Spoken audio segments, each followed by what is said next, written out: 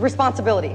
That's the word that I think sums up everything Warren Academy stands for. The truth is, this school is different. Okay, we're different.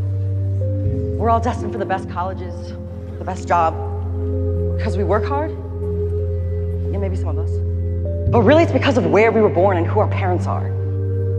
Because we were born lucky, we should understand more than anyone what responsibility means.